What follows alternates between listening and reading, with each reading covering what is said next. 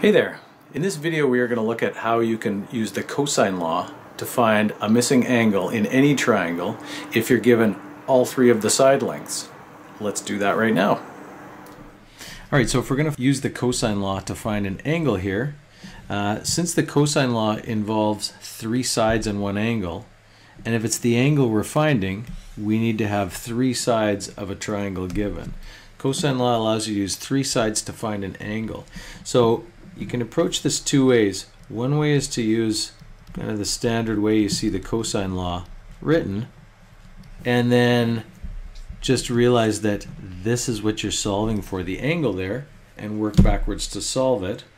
Or some people would just take this formula and rearrange it and isolate it for that first, and then use that formula once you've already isolated. So first I'm going to do this where I'm going to substitute the numbers and then isolate that C. If we say that this is the angle we're finding, this angle right here, if that's angle C, so that's that, then the side I put over here has to be the one across from it. Okay, the side over there has to be the one across from it. So this is going to be 5 squared equals 8 squared plus 9 squared minus 2 times 8 times 9 times cosine of c. And I'm going to try and, again, isolate this first, and then I'm going to use cos inverse to find that missing angle. So again, I can simplify this a little bit, hopefully without my calculator here sometimes, depending on what these are. Uh, we'll do that. Uh, we'll multiply all of that stuff out and we're going to get that this is 144 cos C. We can even combine a few things together here. Uh, we could make this 145 minus 144 cosine of C have the 25 over there. Now if this is what we're isolating we need to find a way to get that by itself you can, to get that by itself, one thing you could do is subtract 145 on both sides, that would be over there. Or you could add this on both sides or move it to the other side and make it positive. Just to keep this simple here, what I'm going to do is subtract 145 on both sides. I'm going to get negative 120 over here. I'm going to get negative 144 cosine of c. It's important to keep track of those negatives so that we get the right angle here. What you can't do is think, wow, there's 145 minus 144. I better subtract that first because again, we have order of operations here. This is a subtraction, but in here, this is actually a multiplication even though it's not written there. So you need to realize that that multiplication has to happen first. So I can't subtract those those other ones. If if I have both of those negative, and I want to get this cosine of c by itself, I am going to divide both sides by negative 144. If you want to actually write it down, you can.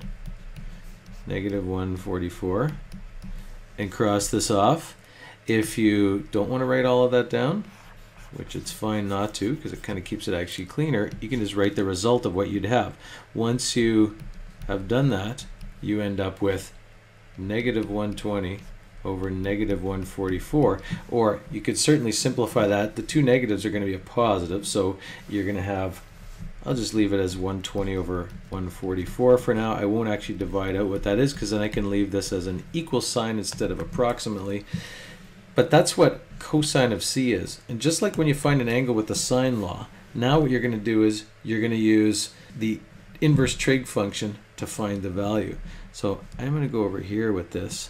I'm going to say that if cosine of c is that, then c is cos inverse of 120 over 144. And we'll go to our calculator. Okay, we'll make sure it's in degree mode. It is. And we will maybe put that over there. We want to do now cos we do not want to do cos. We actually want to do cos inverse above that.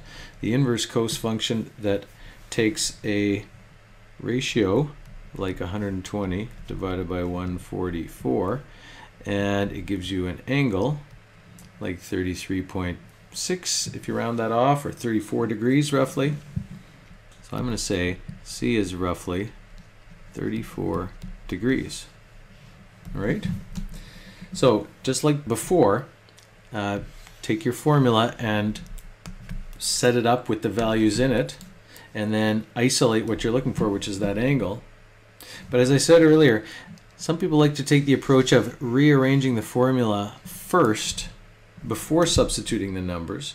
So that is what I'm going to do right now. So if I write that formula again, as fast as I can here, if I want to isolate this C value here, I'm first going to isolate this. And the simplest way to do that is to first of all isolate this whole term and then we can start to think about what to do there. Since this whole term is negative and these other terms are positive here, what I'm going to do is I want to put this term on the other side. Probably when you've learned to solve equations, you've learned that if you move a term side to side in an equation, you can do that as long as you switch its sign. Subtracting on one side is like adding on the other. So I'm going to move that entire term over here and make it positive 2ab cosine of c. And then I'm going to move this c squared to the other side. And I'm going to have, I'll still have my a squared plus b squared. But then I'm going to have minus c squared on that side. So I just swapped those two terms and had to switch their signs because I switched the sides for them. Now, I still am trying to isolate this. What I need to do then is, if it's multiplied by all this stuff, I can just divide both sides by this. If I want to, I can actually write it again and do this uh, and cross it out. Or again, you don't have to write that if you want to keep this uh, a little tidier here. You're going to end up with what we had there, which is cosine of c is a squared plus b squared minus c squared over 2ab. Sometimes you see that formula written for finding the angle, and then you know that that'll give you what cosine of c is, and you can use the inverse cosine function to find the angle, just like we did before. Or sometimes you see it written like this, where it actually says that. It's cos inverse of all of that stuff. All right, so you might see either one of those formulas. You might be able to generate either one of those formulas. It's not a bad skill to have to be able to go from there to there. The nice thing about this one is you can just substitute the numbers in and then just punch it all into your calculator and it'll give you directly that, all in one step if you want. It's totally fine to do this or to do what we did before, which is sub the numbers and then solve it, entirely up to you. But either way, that is using the cosine law to find a missing angle in a triangle if you're given the other three sides.